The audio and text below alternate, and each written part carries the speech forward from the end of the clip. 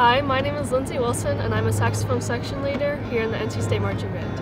I've been playing the alto saxophone since sixth grade and I have fallen in love with the instrument. I joined high school marching band and that was such a big part of my high school career that I wanted to join um, college too. So I've been marching here at NC State for three years so far.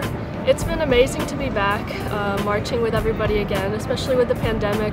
We weren't able to gather. I've learned that you never should take this for granted because you don't know what's going to happen and it's very rare that you get the chance to uh, make music with so many amazing people. A big reason that I decided to come to NC State was because of the band program.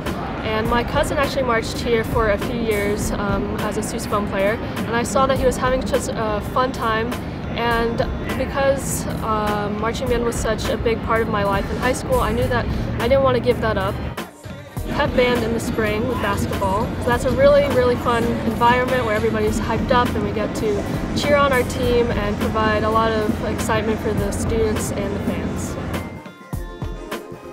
One of the great things about being a student leader here at NC State is all of the skills that I've learned. Um, whether it's time management or working with groups and working with others and being determined and persevering through hard times, it's definitely helped me grow as a person and as a leader and I know that I can apply these uh, skills uh, to my life in the future after college, especially in a workplace setting, so that's definitely one of the great aspects of being a student leader here.